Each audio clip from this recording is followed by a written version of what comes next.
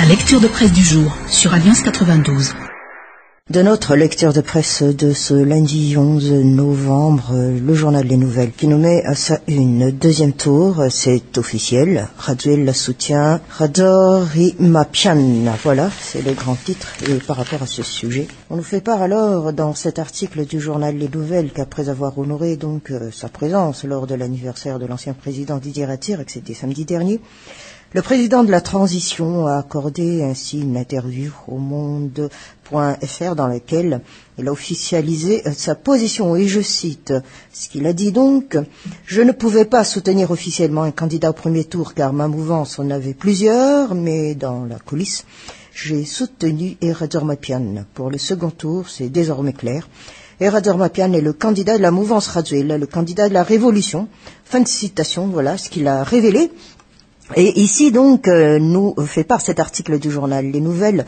Le numéro un de la transition semble avoir suivi l'exemple de l'ancien chef de l'État Marc Wallman, euh, qui nous dit ici entre parenthèses le journal euh, n'est pas membre des institutions de la transition, ainsi qu'il n'a pas aussi caché son soutien à Jean-Louis Robinson. Pendant ce temps, ainsi, d'après une source autorisée, la CES va statuer ce jour et l'avenir du processus électoral en cours dépend euh, en effet en grande partie de sa décision et il se pourrait euh, qu'aucun candidat ne soit disqualifié dans un souci d'apaisement, mais il peut y avoir des sanctions contre certaines personnes proches de candidats qui ont commis ainsi des infractions durant la campagne. Il se pourrait, euh, nous dit toujours ici au conditionnel cet article du journal Les Nouvelles, que la Chambre spéciale choisisse de disqualifier le candidat numéro 3, malgré lui, ce dernier est hors de cause puisqu'il n'a jamais dit qu'il était candidat d'un tel ou d'un tel.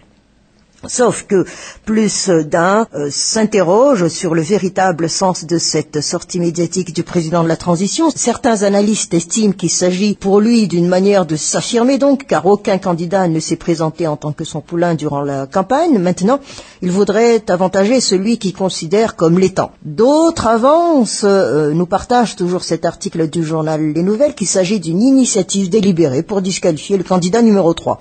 La feuille de route pour euh, la sortie de crise signée par les acteurs politiques malgaches, c'était en septembre 2011, souligne sur ce point que les responsables étatiques doivent rester neutres pendant le processus électoral. Et cette dernière hypothèse expose en tout cas des risques de troubles. Une chose est sûre, la communauté internationale a suivi de près cette sortie et attend de voir quelle sera la position de la Chambre spéciale. La Gazette de la Grande Île, pour enchaîner notre lecture de presse, les vaincus du premier tour, que vont-ils devenir?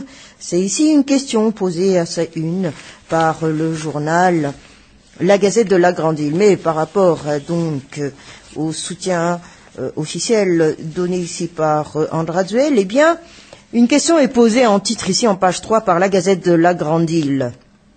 Et Mapian, le soutien de Raduel est-il un sabotage? Point d'interrogation. Beaucoup d'observateurs de la vie politique se sont interrogés sur les motivations d'Ange Raduel en faisant cette déclaration. Le premier concerné, qui est Rador Mapian, sur RFI, s'est étonné. Et je cite, Vous m'apprenez la nouvelle, je ne le savais pas. Pourtant, en tant que président de la transition, André Raduel ne, peut pas m'apporter son soutien. Et euh, fin de citation. Et face à la déclaration d'André Raduel, eh bien, Jean-Louis Robinson a déclaré selon toujours ici donc le journal Le Monde, que euh, s'il, c'est-à-dire ici Andraduel, soutient un candidat, je demanderai sa démission, car il y a un trop grand risque qu'il utilise les moyens de l'État pour faire campagne pour ce candidat.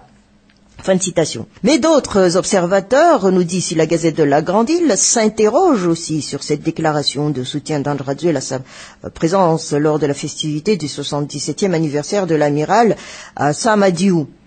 Euh, les deux hommes se sont en effet fait euh, photographier par les journalistes en prenant la parole. Et bien Didier Ratir a encore déclaré en présence du président de la transition son vœu de diriger ensemble le pays.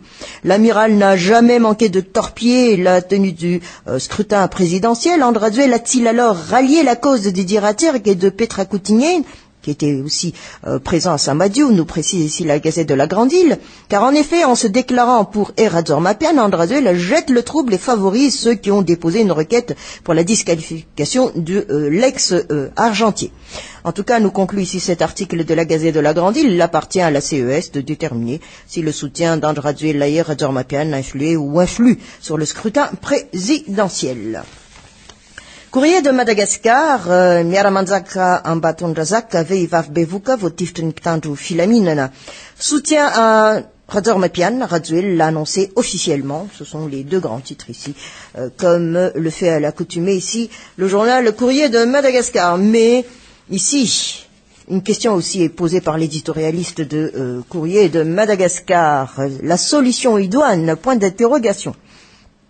Eh bien, de son analyse ici à l'éditorialiste Courrier de Madagascar de nous dire qu'Andrade affiche publiquement donc son soutien ailleurs à Dormapian. Comme Marc Ravalman en a fait campagne pour Jean-Louis Robinson, le président de la transition, va lui aussi donc militer pour faire élire son candidat ailleurs à et ce donc malgré l'interdiction de la feuille de route, euh, comme de la feuille de route de sortie de crise qui stipule que le président comme le gouvernement doit rester neutre particulièrement durant le processus électoral. Ainsi, donc, Andraduel sort de la réserve à laquelle il est tenu pour ne plus euh, servir Erador Mapian en coulisses. Son ego ne le laissera pas ainsi assister à la défaite de son poulain. Il entre en scène, nous dit ici l'éditorialiste, et en tant que président de la transition, et un statut qui lui imposait de garder sa neutralité, de ne pas influencer le vote en faveur d'un candidat. Néanmoins, il n'en fait qu'à sa tête, et d'ici la communauté internationale dans sa démarche, nous dit ici l'éditorialiste euh, de euh, Courrier de Madagascar. Pour autant, eh bien, Erador Mapian pourrait-il être avantagé avec ce soutien indéfectible de son mentor, au vu de ce qui s'est passé au premier tour, c'est Edgar Azavdava qui en a payé le prix. Le soutien public d'Andraduel à Erador Mapian pourrait-il alors ajouter de la valeur à ce candidat?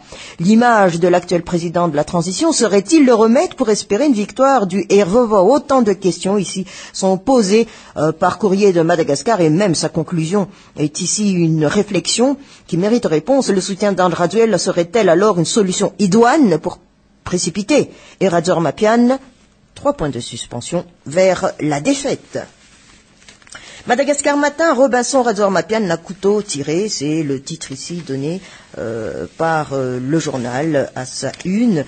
Et d'un éditorial à un autre, eh bien Madagascar Matin, lui, nous dit une occasion de protestation en titre donc.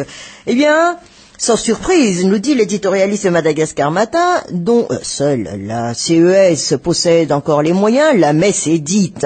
Jean-Louis Robinson et Eradur Mapian seront ainsi les candidats qualifiés pour le second tour des présidentielles. Difficile pour l'un comme pour l'autre euh, de se démarquer par rapport aux deux principaux protagonistes de la crise 2009, qu'ils le veuillent ou non aux yeux du grand public, ils sont l'un le porte-étendard du camp délogé en 2009, l'autre le champion du camp porteur des espérances de cette période.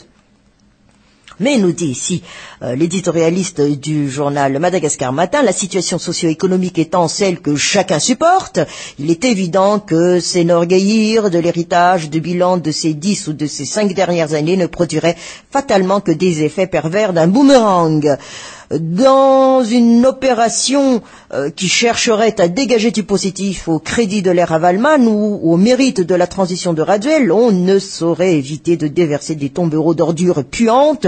C'est comme remuer des poubelles dans l'intention d'y trouver un ou des objets de valeur les discours de campagne pour faire l'article de sa euh, Camelot, c'est-à-dire ici donc euh, des promesses pour demain et s'appuyant sur des récits du passé, risquent de n'être que stériles.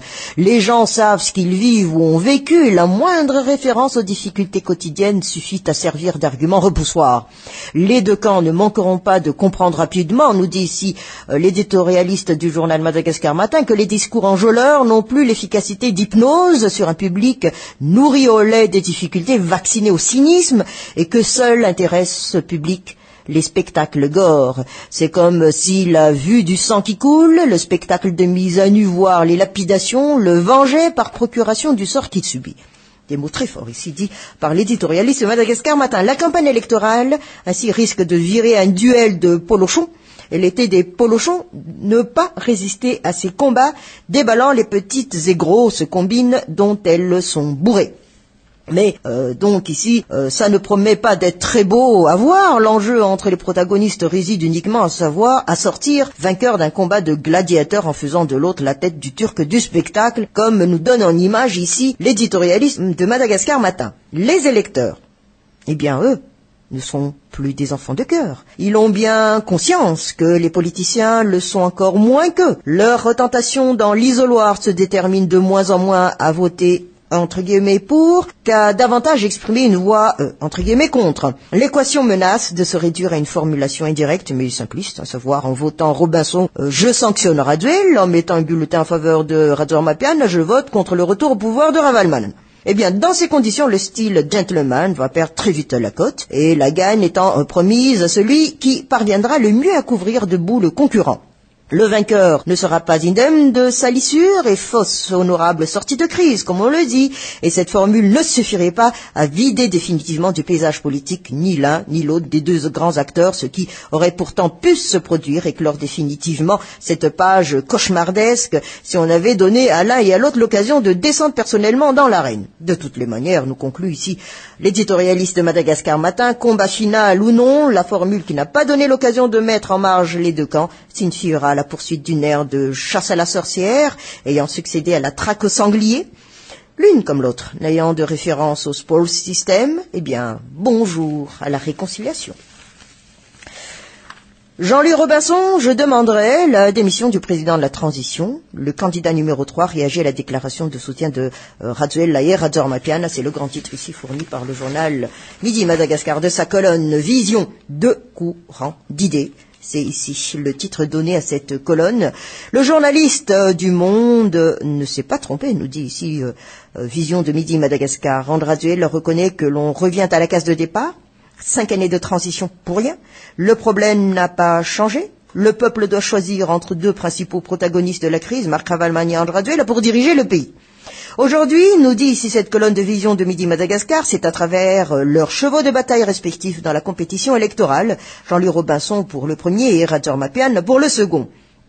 Jean-Louis Robinson a été à la tête du classement des candidats au premier tour de l'élection présidentielle, et ce, grâce au suffrage euh, des endroits les plus peuplés. On explique le score qu'il a réalisé en Tanarive, la capitale, comme un vote sanction contre le régime raduel pour mettre fin à la période de transition. Mais avec seulement un écart de 5% en fin de parcours sur Radjor Mapian, nous dit toujours cette colonne de Vision de Midi Madagascar, Andraduel croit moins en cette thèse que l'emprise de sa révolution. La campagne du second tour sera par conséquent donc marquée par deux courants d'idées bien nets. Transition pour la mouvance nette, d'une part, la mise à mort de la transition pour la mouvance Ravalman, l'esprit de vote sanction prédominera pour marteler chez les électeurs les faiblesses et les effets euh, désastreux de cette période de transition au plan politique, économique et social. Et d'autre part, la culture de l'esprit euh, révolutionnaire pour la mouvance Raduel, eh bien, il s'agit de favoriser les assises d'une force euh, nouvelle, porteuse de changement. Les deux camps se rejoignent pour offrir ainsi un avenir meilleur, mais le choix final revient aux électeurs sans pour autant écarter les menaces. Question dès lors posée, deux questions, excusez-moi. Le gagnant sera-t-il gagné? Le perdant sera-t-il perdre? Ce sont les deux questions qui reviennent le plus souvent au sein du public. L'Express de Madagascar, Radzuel dans le monde, mon candidat sera le futur président. C'est ici le titre mis à la une par le journal, mais il y a aussi les législatives. Eh bien, les femmes candidates affûtent leurs armes, c'est le titre ici d'un des articles en page 5 du journal L'Express de Madagascar. Eh bien, s'unir pour la cause du genre, pour s'assurer une place parmi les 151 sièges de l'Assemblée nationale à la 4 République, 47 femmes candidates à la députation ont pris donc part, et ce, à trois jours d'atelier de euh, renforcement de capacité, c'était la semaine dernière. Ainsi, donc, euh, selon les explications recueillies, nous partage ici l'Express de Madagascar, les femmes prétendantes aux législatives feront, en marge de leur campagne personnelle, une propagande en faveur de l'élection de la gente féminine pour siéger à Timbazaz. Le marketing corporatiste devra euh, également être appliqué par celles qui seront élues à l'Assemblée euh, nationale pour défendre l'égalité de genre. Et la mise en pratique de ce concept risque cependant de se heurter aux lignes de conduite et aux priorités euh, des formations politiques dont sont issues les candidates, nous dit cet article de l'Express de Madagascar. Et on termine notre lecture de presse avec le journal La Vérité. Didier Ratir cavalise la présidentielle, une réconciliation avant le second tour. C'est le grand titre ici donné euh, par le journal La Vérité. Mais Voyons ici son éditorial, Ordure et Ordure, c'est le titre donné. Mais pour euh, être plus en contact avec cet éditorial, eh bien, passons à la lecture, l'amoncellement des ordures et toutes les conséquences en matière d'odeur et d'insalubrité est un sujet inépuisable tant dans la capitale que dans les autres chefs-lieux de Fartagne. Il n'y a pas une seule ville qui rattrape l'autre. C'est l'un des grands fléaux du pays qui peuvent être apparentés à la face infime immergée d'un iceberg dont euh, le fond est autrement plus catastrophique. C'est aussi l'image actuelle, mais soyons équitables, celle que quasiment tous les régimes qui se sont succédés à la tête du pays. Et ici, à l'éditorialiste de nous faire part que le problème des canaux d'évacuation des eaux usées refait surface au rythme régulier de la saison des pluies. Le spectacle Partout où l'on va, les images et les photos ne sont pas ragoûtantes, loin s'en faut. Des préposés au nettoyage livrent tout de même une bataille perdue d'avance aux immondices.